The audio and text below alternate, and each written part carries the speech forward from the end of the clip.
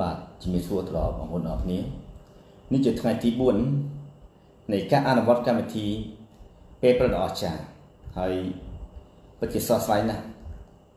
ពិតជារំភើបខ្លាំងណាស់ពិតជាមានធម៌ពលខ្លាំងណាស់ហើយយើងតទៀតគឺខ្ញុំបានបន្តទៀតគឺដំណាក់កាលទី4ខ្ញុំយកដំណាក់កាលទី5ជាការ reading ជាការអានដំណាក់កាលទី1របស់ខ្ញុំគឺសមាធិដំណាក់កាលទី2 គឺអឺ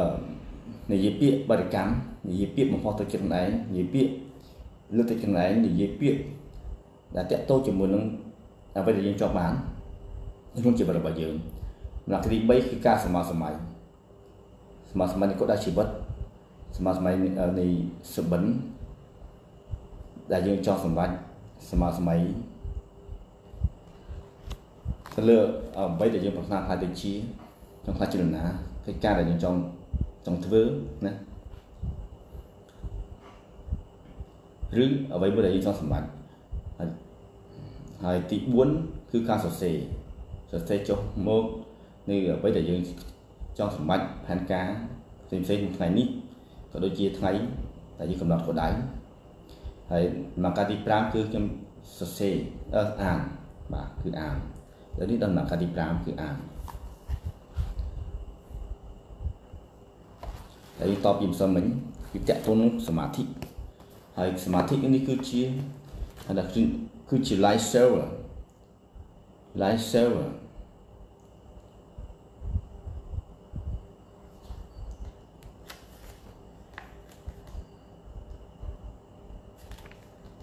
តែទី1គឺភាពស្ងប់ស្ងាត់ទី1គឺវាស្ងប់ស្ងាត់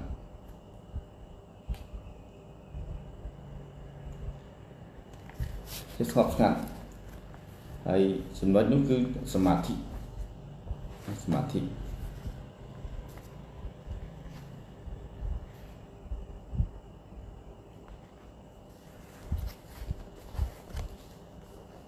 យើងតបពីម្សិលមិញការធ្វើសមាធិក្នុងកម្មវិធីពេលរត់ដ៏អស្ចារ្យនេះគឺជំហាននីមួយៗស្ដីអំពីរបៀបធ្វើសមាធិបែបឯកតជន ដែលអាចប្រើក្នុងអំឡុងពេលអនុវត្តកម្មវិធីពេលប្រឌិតអស្ចារ្យរបស់អ្នកបើទោះបីមិនធ្លាប់ធ្វើសមាធិពីមុនក៏ដោយទី1មិនពេលចាប់ដើមធ្វើសមាធិវាមានសារៈសំខាន់ខ្លាំងណាស់ក្នុងការរៀបចំផ្លូវគំនិតក៏ដូចជាការកំណត់រំពឹងទុកថាចង់បានអ្វីពីវា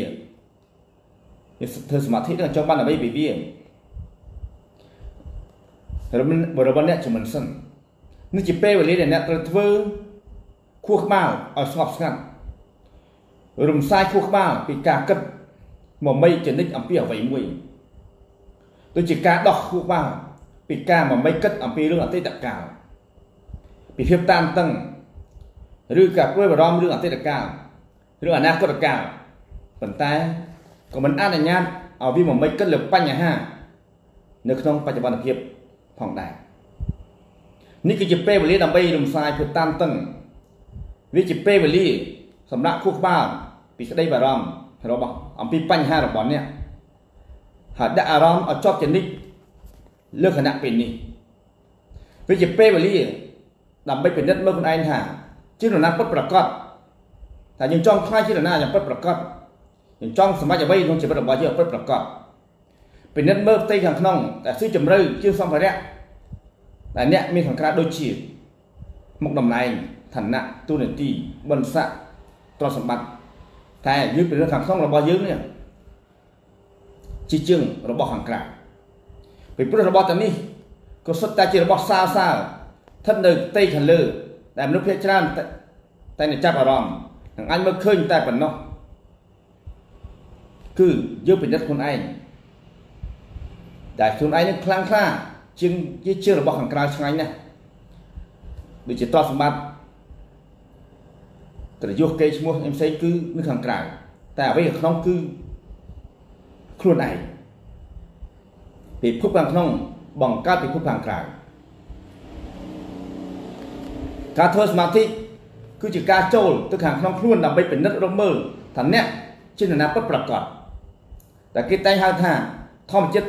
ពិតរបស់អ្នកវាពុំមែនជាកំណត់របស់អ្នកទេហើយវាក៏ពុំមែនជាសកម្មភាពរបស់អ្នកដែរប៉ុន្តែវាគឺជាបុគ្គលិកលក្ខណៈពិតខាងក្នុងដែលធម្មជាតិដល់អ្នកប្រសិនបើស្ដាប់ទៅដូចជាចម្លែកឬថ្មីណាឬ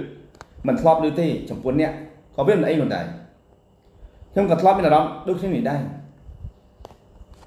វាប្រហែលមកពីអ្នកមិនដែលធ្លាប់សាឡបងធ្វើបែបនេះពីមុន ប៉ុន្តែសំណាងណាស់ដែលបន្តិចទៀតនេះនៅសាឡបងធ្វើវាអញ្ចឹងទេទី1អំបញ្ញមិញគឺការរំពឹងទុកតែយើងចង់បានអ្វីពីសមាធិនេះទី2រកកន្លែងស្ងាត់និងមានផាសុកភាពក្នុងការអង្គុយអ្នកអាចអង្គុយលើសឡុងលើកៅអីលើឥដ្ឋឬអង្គុយលើខ្នើយដើម្បីបន្ថែមភាពងាយស្រួលបន្តិចទី3 អង្គុយឲ្យត្រង់ខ្លួនហើយពេនភ្នែកឲ្យដាក់ជើងស្ដាំឆ្វេង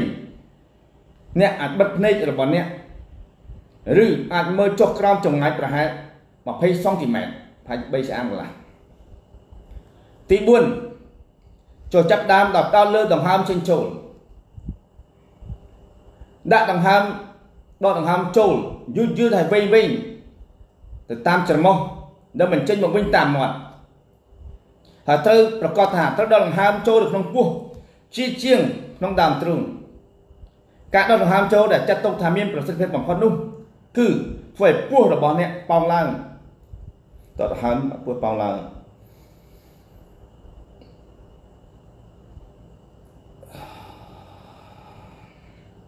គឺមិនមែនធ្វើឲ្យទ្រូងឡើងប៉ោងឡើងនោះឡើយទី5អង្គុយចាប់ដើមរត់ដង្ហើមរបស់អ្នក យឺតយឺតចំនួន3វិនាទី1 2 3ទឹកដង្ហើម3វិនាទីដង្ហើមហើយរាប់1 2 3ហើយបញ្ចេញតាមមាត់1 2 3ហើយបន្តមកដកដង្ហើមចេញយឺតយឺតចំនួន3វិនាទីចូលពិនិត្យមើលថាគំនិតនិងអារម្មណ៍របស់អ្នកកំពុងតែសួរស្បើយខណៈពេលដែលអ្នកផ្ដោតលើអារម្មណ៍ចេញចូល ចូលតម្កល់ស្មារតីរំលឹកថា អ្នកព្យាយាមធ្វើឲ្យពោះក្បាលស្ងប់ស្ងាត់គំនិតផ្សេងផ្សេងតែអ្នកព្យាយាមជ្រៀតខ្លួនចូលមកក្នុងពោះក្បាលរបស់អ្នកជានិច្ចដូច្នេះអ្នកគ្រាន់តែពិនិត្យមើលវាបន្តមកអនុញ្ញាតឲ្យពោះវារសាត់បាត់ទៅវិញភ្លាមដល់ព្យាយាមត្រឡប់ស្មារតីរបស់អ្នកមកកាន់ដង្ហើមចេញចូលទៅបានហើយ តែទី5គឺរត់ដង្ហើមចិញ្ចូលយើងផ្ដោតដង្ហើមនៃការចិញ្ចូលទី6សូមចងចាំនេះគឺជាពេលវេលាសម្រាប់អ្នកដើម្បីបោះបង់ចោលភាពចាំបាច់របស់អ្នកក្នុងការគិតចនិចអំពីអ្វីមួយនេះជាពេលវេលាដែលត្រូវរំសាយភាពតានតឹងណាយើងនឹងសម្រាប់ពីការព្រួយអារម្មណ៍អំពីបញ្ហានេះគឺជាពេលវេលាដែលត្រូវផ្ដោតអារម្មណ៍ពេញលេញនៅក្នុងគណៈពេលឥឡូវនេះ នេះជាពេលវេលាដែលគេតែងហៅថាពេលនៅជាមួយនឹងខ្លួនឯងជាពេលវេលាដែលនៅជាមួយនឹងខ្លួនឯងកុំគិតកុំធ្វើអ្វីទាំងអស់គឺគ្រាន់តែនៅជាមួយខ្លួនឯងតែប៉ុណ្ណោះចុះពិនិត្យដង្ហើមរបស់អ្នកបន្តទៀតហើយស្រមៃថាដង្ហើមចូលរបស់អ្នកគឺការគឺពោពេញដល់ធម៌ពលវិជ្ជមានគឺពោពេញដល់ធម៌ពលវិជ្ជមានពោពេញដល់ធម៌ពលនៃស្រឡាញ់ពោពេញដល់ធម៌ពលនៃសន្តិភាពហើយធម៌ពលចិត្តរបស់អ្នក គឺនាំចេញនៅការព្រួយបារម្ភភាពតានតឹងក្នុងចិត្តដូច្នេះចូលរីករាយជាមួយនឹងវាដោយស្ងប់ស្ងាត់រីករាយនឹងខណៈពេលនេះគឺគ្រាន់តែដកដង្ហើមចេញចូលគ្រាន់តែនៅជាមួយខ្លួនឯងតែប៉ុណ្ណោះទី7ប្រសិនបើអ្នករកឃើញថាអ្នកមានលំហនៃការគិតជាប់មិនដាច់មានវិធីមួយដែលអាចជួយអ្នកបានគឺផ្ដោតលើពាក្យឬឃ្លាណាមួយ ហើយទន្ទិញវានៅក្នុងចិត្តម្ដងហើយម្ដងទៀតម្ដងហើយម្ដងទៀតម្ដងហើយម្ដងទៀតនៅពេលនេះដង្ហើមដកដង្ហើមចូលនិងដកដង្ហើមចេញឧទាហរណ៍ថាខ្ញុំដកដង្ហើមចូលដកដង្ហើមចូលសន្តិភាពដកដង្ហើមចូលនៃក្តីស្រឡាញ់ដកមកខ្ញុំដកឲ្យវាតែអង្គុយគេណានេះអានណាបន្តមកអ្នកអាចដូរពាក្យសន្តិភាពទៅក្តីស្រឡាញ់ ឬពាក្យណាដែលអ្នកត្រូវការដើម្បីបណ្ដោះវានៅក្នុងខ្លួនរបស់អ្នកដូចជាពាក្យជំនឿទុកចិត្តជឿជាក់គិតវិជ្ជមានអ្វីអ្វីក៏ដោយឬពាក្យណាក៏ដោយតែគិតថាវាអាចបង្កើនធម៌ពលដល់ធំខ្លួនរបស់យើងទី8សមាធិគឺជាអំណោយដែលអាចដល់ឲ្យខ្លួនយើងជារាល់ថ្ងៃតែបើទៅវាជាអំណោយដ៏អស្ចារ្យបំផុតពេលវេលា ចំណាយលើការធ្វើសមាធិបានខ្លាចជាផ្នែកមួយដែលខ្ញុំចូលចិត្តសម្រាប់ថ្ងៃនីមួយៗរបស់ខ្ញុំវាជាពេលវេលាដើម្បីស្ថិតនៅក្នុងសន្តិភាពដើម្បីបង្ហាញសេចក្តីដឹងគុណនិងជាពេលវេលាដើម្បីរំដោះខ្លួនឲ្យមានសេរីភាពពីការតានតឹងនិងការព្រួយបារម្ភដែលកើតឡើងជារៀងរាល់ថ្ងៃចូលគិតថាការធ្វើសមាធិប្រចាំថ្ងៃគឺជាសវិសមាការបណ្ដោះអាសន្នពីបញ្ហារបស់អ្នកបើថាយើងធ្វើសមាធិគឺដើម្បីដោះបញ្ហាជីវិតខ្លួនយើង ដោះការຕົកព្រួយបារម្ភពីខ្លួនរបស់យើងបើទោះបីជាបញ្ហារបស់អ្នកនៅបន្តស្ថិតក្នុងខ្លួនរបស់អ្នកពេលចប់ធ្វើសមាធិក៏ដោយប៉ុន្តែក្រោយពីធ្វើសកម្មភាពនេះអ្នកនឹងឃើញថាអារម្មណ៍របស់អ្នកកាន់តែមូលនិងរឹងមាំជាងមុនហើយសមត្ថភាពរបស់អ្នកកាន់តែឆ្លៀសវៃជាងមុនមុនក្នុងការដោះស្រាយបញ្ហាទាំងនោះដូច្នេះ life server ទី1នេះគឺ silent គឺតាក់ទងសមាធិចត់ពាក្យចុងក្រោយស្ដីពីភាព silent តាក់ទងសមាធិផ្សេងស្ងប់ស្ងាត់នេះការចំណាយពេលដើម្បីភាពស្ងប់ស្ងាត់គឺមិនមែនធ្វើតាមរយៈវិធីសាស្ត្រតែមួយនោះឡើយអ្នកអាចធ្វើតាមរយៈក្នុងការអង្គុយអធិដ្ឋានការធ្វើសមាធិការផ្ដោតអារម្មណ៍លើរបស់អ្វីមួយដែលអ្នកដឹងគុណខ្លាំងមែនទែនដែលអ្នកមានវា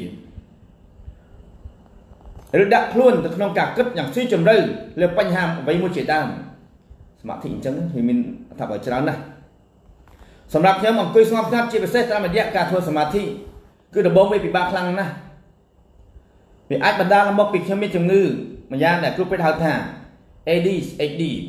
ក្រោយពីធ្វើរោគវិនិច្ឆ័យខ្ញុំអាចនិយាយតាមត្រង់វាពិតជាពិបាកក្រៃលែងសម្រាប់ខ្ញុំក្នុងការអង្គុយស្ងៀមហើយរក្សាខួរក្បាលស្ងប់ស្ងាត់ កុំគិតអ្វីសោះនេះប្រហែលមកពីខ្ញុំយល់ស្របតាមការធ្វើរោគវិនិច្ឆ័យរបស់គ្រូពេទ្យឬអាចបណ្ដាលមកពីខ្ញុំមកមិនគិតថាជំងឺរបស់ខ្ញុំជាជំងឺផ្លូវចិត្តម្យ៉ាងកំណត់ចេះតែរត់ចុះរត់ឡើងក្នុងខួរក្បាលរបស់ខ្ញុំលុតចុះលុតឡើងដូចបាល់បោះដែលស្ទើរតែមិនឈប់ឈរតតែសោះដូច្នេះខ្ញុំអង្គុយស្ងៀមក៏ដោយក៏ខួរក្បាលរបស់ខ្ញុំមិនសម្រាប់ដែរមែនហើយ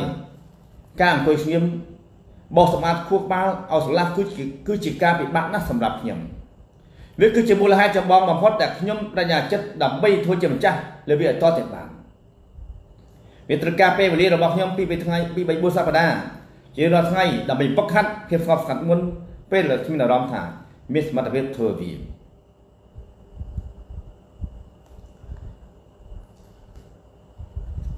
ខ្ញុំបានវឹកហាត់វារហូតដល់ទៅដំណាក់កាលមួយដែលខ្ញុំអនុញ្ញាត ឲ្យកំណត់ហូរចូលក្នុងខួរក្បាលដល់សេរីហើយខ្ញុំទទួលពួកវាដោយចិត្តជ្រះថ្លានិងសន្តិភាព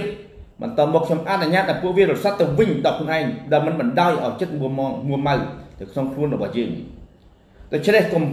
ធ្លាក់ទឹកចិត្តបើសិនបើការចំណាយពេលអង្គុយស្ងប់ស្ងាត់ឬការធ្វើសមាធិគឺជាបញ្ហារបស់អ្នកមិនមែនបញ្ហារបស់អ្នកទេគឺបញ្ហាជាមនុស្សទូទៅតែម្ដងការធ្វើជាមុនដំបូងដំបូងនោះចំពោះរយៈពេលដែលត្រូវប្រើអង្គុយនៅក្នុង ភាពស្ងប់ស្ងាត់គឺខ្ញុំសូមណែនាំឲ្យចាប់ផ្ដើមដំបូងអស់គឺ5នាទីបើទោះបីជាក្នុងចម្ពោះបន្តខ្ញុំនឹងមករៀនអ្នកពីទាញប្រយោជន៍ពីការអង្គុយក្នុងភាពស្ងប់ស្ងាត់រយៈពេល1នាទីក៏ដោយនៅពេលខ្ញុំចាប់ដើមអនុវត្តវាឈឺមកអង្គុយកន្លែងស្ងាត់ប្រកបដោយអារម្មណ៍ស្ងប់ស្ងៀមនិងធូរស្បើយហើយសូត្រអធិដ្ឋានសមាធិនិងគិតពិចារណាអំពីអ្វីដែលខ្ញុំមានសេចក្តីដឹងគុណមែនតែន ហើយគ្រាន់តែដកដង្ហើមវិញវិញរយៈពេល5នាទីនេះគឺជាវិធីសាស្ត្រប្រកបដោយសន្តិភាពនិងអកចោះដើម្បីចាប់ដើមនៅខាងនីមួយៗដូច្នេះខ្ញុំសូមរំលឹកសារជាថ្មីថាយ៉ាងសង្ខេបតទៅសមាធិខ្ញុំបាទសរសេរនៅលើក្តារខៀន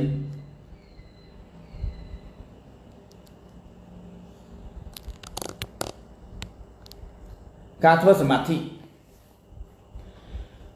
ការធ្វើសមាធិទី1យើងត្រូវកំណត់ការរំពឹងទុកតើយើងចង់បានអ្វីពីការធ្វើសមាធិនេះយើងចង់បានអ្វីយើងត្រូវតែកំណត់ការរំពឹងទុកជាមុនសិនទី2យើងរកអង្គុយកន្លែងដែលស្ងាត់ហើយមានផាសុខភាពទី3អង្គុយឲ្យត្រង់ខ្លួនអង្គុយឲ្យត្រង់ខ្លួនអូមិនអ៊ីពីលោកទេណាអង្គុយឲ្យត្រង់ខ្លួនហើយពេលភ្នែនដាក់ជើងស្ដាំខាងលើខាងលើជើងឆ្វេងហើយបិទភ្នែករបស់អ្នកហើយបើអាចមើលមើលត្រឹមតែ30 70សង់ទីម៉ែត្រទេ70សង់ទីម៉ែត្រតែប៉ុណ្ណោះនៅខាងមុខជើងស្ដាំដាក់លើជើងខាងឆ្វេងដៃស្ដាំដាក់លើដៃខាងឆ្វេងទី4ដោតដង្ហើមចេញចូល យកដកដង្ហើមចេញចូលយឺតយឺតហើយវែងវែងហើយបញ្ចេញតាមមាត់ទី5បានយើងចាប់ផ្ដើមរត់ដង្ហើមចេញចូលដោត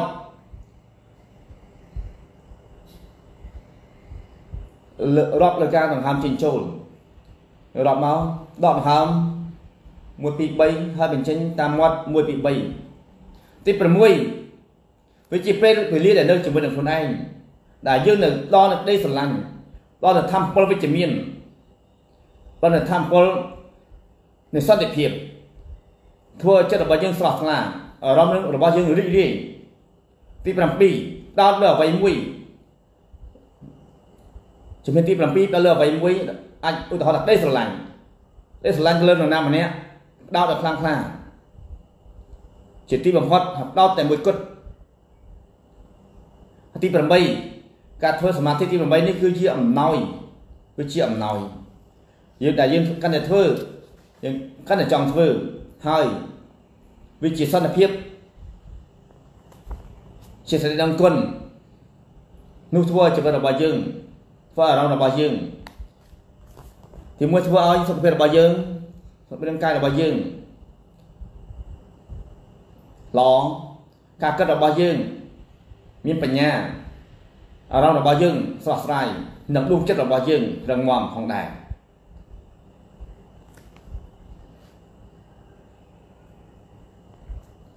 បាទសូមស្វាគមន៍បងប្អូនទាំងអស់គ្នានេះគឺគឺជា live server ដែលមានទាំងអស់6ដំណាក់កាលតែដំណាក់កាលទី1ហៅថា silent សមាធិ ដំណាក់កាលទី2ពាក្យបរិកម្ម affirmation ពាក្យបរិកម្មគឺជាពាក្យបំផុសសក្តាសក្តានុពលរបស់យើងតែយើងគិតថាយើងជំនួសដែលមានសក្តានុពលយើងជំនួសដែលមានសមត្ថភាពយើងចង់សម្រេចក៏ដោយជីវិតរបស់យើងដែលយើងពីនិយាយពាក្យខ្លាំងខ្លាំងខ្ញុំជាអ្នកមានឧទាហរណ៍ខ្ញុំជាមនុស្សដែលមានសមត្ថភាពអស្ចារ្យនិយាយវាចូលទៅក្នុងជ្រាបចូលទៅក្នុងអនុសតិសម្បញ្ញៈរបស់យើងជ្រាបចូលទៅក្នុងចិត្តខាងក្នុងរបស់យើង មានច្រើនពាក្យទៀតតែពាក្យវិជ្ជមានឧទាហរណ៍ខ្ញុំជាមនុស្សស្មោះត្រង់ខ្ញុំជាម្ចាស់ជីវិតរបស់ខ្លួនឯងទី3គឺ visualization ការស្រមើសម័យមើលការស្រមើសម័យទៅលើតើយើងចង់សម័យអ្វីចង់ខ្លាចជានរណា vision board ខ្ញុំចង់មានគ្រួសារបែបម៉េចសម័យវាចេញឲ្យជារូបភាពពិតពិតនៅក្នុងខួរក្បាលរបស់យើងឲ្យរស់រវើកដូចជាការពិតកំពុងតែមាននៅពេល ពេលនេះតែម្ដងនេះជាយុទ្ធសាស្ត្រនេះជាកលឹះដែលមហាសេដ្ឋីដែលមានដល់លើពិភពលោកក៏បានប្រើប្រាស់ហើយទី4គឺ scribing scribing គឺតើទៅនឹងការសរសេរតើយើងមានផែនការអ្វីខ្លះនៅថ្ងៃនេះសរសេរចុះមកតើយើងចង់សម្រេចអ្វីខ្លះនៅថ្ងៃនេះសរសេរចុះមកនៅក្នុងសភៅរបស់យើងក៏បាននៅក្នុងកំណត់ត្រា digital ក៏បានទី5យើងអានយើង អានសភៅឲ្យបាន20នាទីអានសភៅដែលតើទៅក្នុងកំណត់អានសភៅនេះតើតជាមួយនឹងការធ្វើឲ្យយើងរីកចម្រើនជាងមុនអាចជាក្នុងកំណត់អាចជំនួយចិត្តលើខ្លួនឯងអាចជាតើតជាមួយហេតុអញ្ញធំពីព្រោះមេដឹកនាំពិភពលោកមហាសេដ្ឋីលើពិភពលោកសុទ្ធតែជំនួសចូលចិត្តនឹងការនឹងសូត្រទី6ហាត់ប្រាណហាត់ប្រាណ20នាទី និងហាត់ប្រាណ20នាទីចឹងតែខ្ញុំជ្រើសរើសយកទី5ជាការអានបន្តមកទី6ហាត់ប្រាណបញ្ចប់នៃការអនុវត្តកម្មវិធីពេលប្រឡអស្ចារ្យនេះបាទអញ្ចឹងទេចប់ហើយនៃកម្មវិធីពេលប្រឡអស្ចារ្យនៅថ្ងៃទី4នេះសូមគោរពជូនពរបងប្អូនជួបតែសេចក្តីសុខនិងចម្រើនបងប្អូនទូទាំងប្រទេសកម្ពុជាជៀសចម្ងាយជៀសផុតពីជំងឺ Covid-19 ហើយនៅលេខឆាប់ឆាប់នៅខាងមុខនេះ ចាក់ជាមិនខានសូមបងប្អូនជួបតែសេចក្តីសុខនិងចម្រើនណាសូមអរគុណសូមជម្រាបលា